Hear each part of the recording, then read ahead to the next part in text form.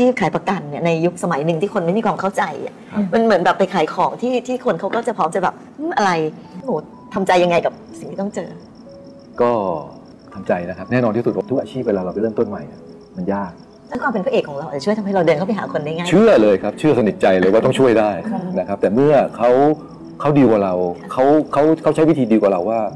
ก็ต้องอธิบายเพราะเมื่อก่อนนี้อ๋อไม่มีอะไรแวะมาเยี่ยม ค่ะ แต่วันนี้มาอะไรจะไปโกหกไม่ได้ครับ ก็ต้องบอก ว่าวันนี้จะมาหาในเรื่องอะไร วันนี้จะมาในเรื่องขาย วันนี้จะมานำเสนอจะมาพรีเซนต์ค่ะเราก็ต้องบอกตรงๆ เราก็จะไม่โกหกเคยมีเหตุการณ์ครั้งไหนไหมคะที่เรารู้สึกแบบ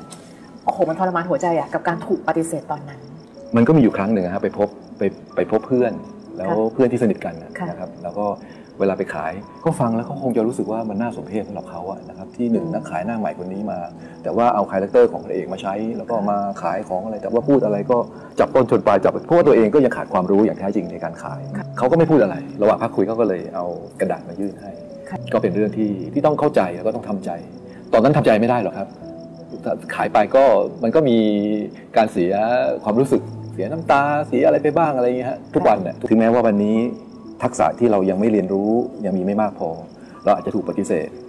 มันก็คือเรายังทำได้ไม่ดีพอ เราก็ต้องเรียนรู้อืมเพื่อที่จะเป็นนักขายที่ดีแล้วก็เป็นมืออาชีพ อย่าสักแต่ว่ามีอาชีพต้องเป็นมืออาชีพในงานนั้นให้ได้ค่ะ